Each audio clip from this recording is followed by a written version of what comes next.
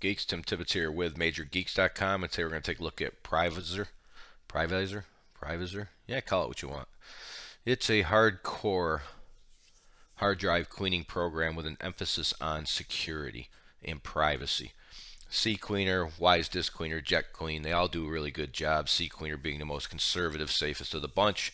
Consider this the exact opposite end of the spectrum. If you don't understand computers and you don't understand the stuff going on inside your computer, you can still run it, but it can be pretty hardcore, and we'll show you why. So video probably go a little bit long.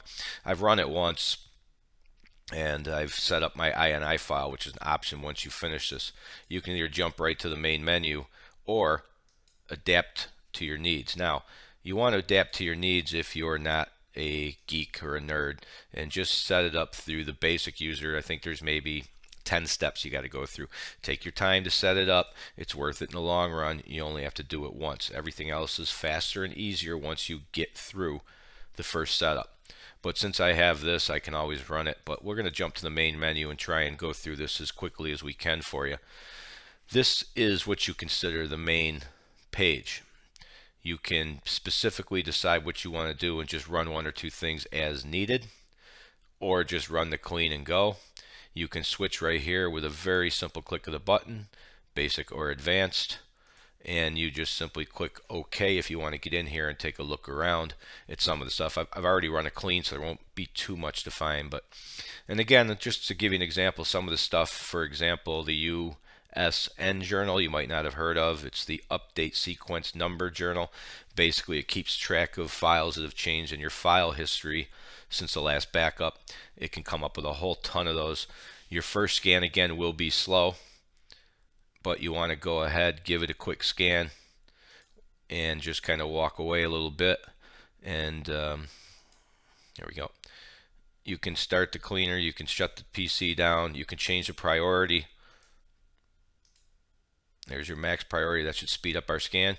You can create a restore point, always a good idea and save the registry, which you can see over here. It does save it right here in a folder for you, which is something you're going to want to consider because when you start moving stuff out of the registry, it's a good idea to have a backup. And I'm going to hit a quick pause here. It shouldn't be too long, but just in case, I'll be right back. Oh, wait a minute. Wow, it's flying now. All right, we'll be right back.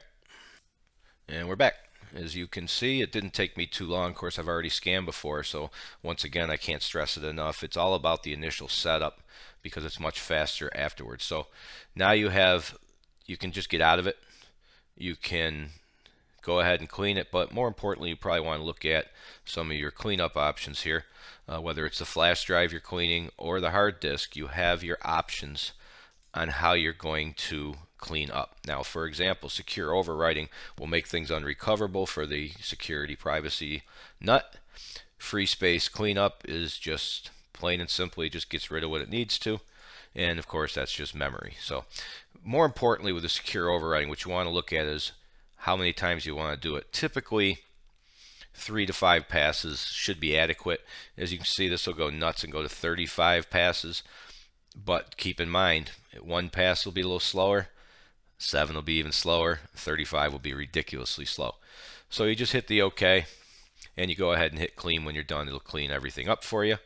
And once again, it's even going to give you estimated times, keeping in mind it really depends on how you want to do it. So what I'm going to do is just do the normal deletion, do the turbo for speed, and let her rip right through there.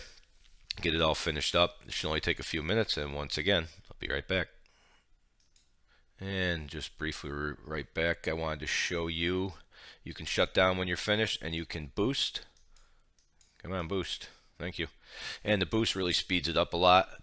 Otherwise, uh, you could be sitting around for a while. So it's a good idea to not be using your computer while this is going on. This can actually be pretty CPU intensive. It really slowed my machine down a pretty good bit. So there you go. And once again, I will be right back. And we're back all cleaned up. All you got to do here is hit close. And that's it. You're back at the main screen. Pretty much as simple as that. I love to keep these videos under five minutes, but I just can't stress enough for you on this video that it's all about that first time setup and it's not that intense but if you really are concerned about your security and privacy I don't think there's another cleaner on the market that does anywhere near in depth what this thing does so up to you again if you don't feel comfortable with it CCleaner is nice safe and conservative. I've never seen a computer get damaged using CCleaner and that's about it. So if you get a chance take a minute to subscribe. We thank you for watching as always and we'll see you next time